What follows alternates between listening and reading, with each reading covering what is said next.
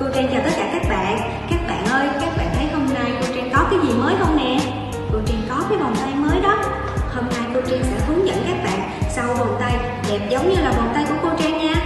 Để thực hiện thì cô Trang cần có một sợi dây hạt tròn và một cái kéo. Bây giờ các bạn Bước đầu tiên, cô Trang lấy một sợi dây, một đầu cô Trang sẽ thắt nút lại, để khi sau, hạt tròn sẽ không bị rơi ra. Ở bước này, các bạn nhờ ba mẹ làm giúp nhé. Đầu còn lại, cô Trang cầm bằng hai ngón tay, ngón tay cái và ngón tay trỏ. Các bạn cầm giống như cô nè. Một tay cô cầm hạt tròn, một tay cô cầm dây xỏ qua lỗ của hạt tròn tay cô kéo sợi dây qua hạt tròn. Tay còn lại, cô kéo hạt tròn xuống.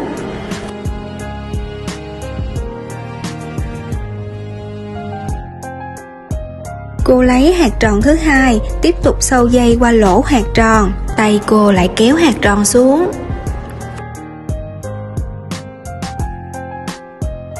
Cứ như vậy, cô sâu nhiều hạt tròn.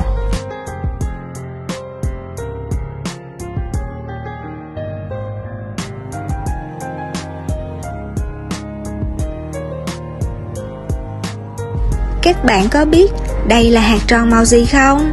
À, đây là hạt tròn màu xanh. Tiếp theo, cô Trang chọn hạt tròn màu đỏ. Ở nhà, các bạn thích hạt tròn màu gì thì chọn màu đó.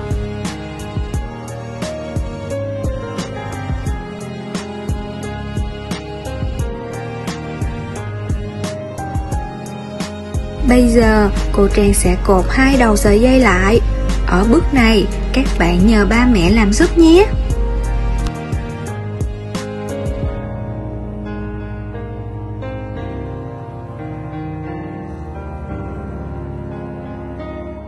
Cô Trang đã sâu xong vòng tay rồi nè.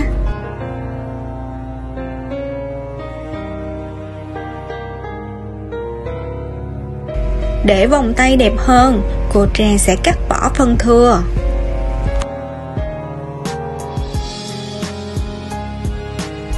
Ở bước này, các bạn nhờ ba mẹ làm giúp nhé.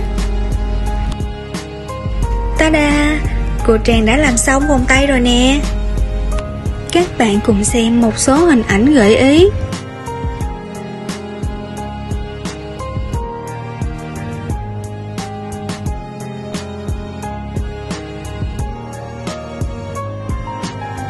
cô Trang đã hướng dẫn xong các bước thực hiện sau vòng tay rồi Ở nhà, các bạn cùng tìm những nguyên vật liệu và sau vòng tay đẹp nhé. Và bây giờ, cô Trang chào tạm biệt các bạn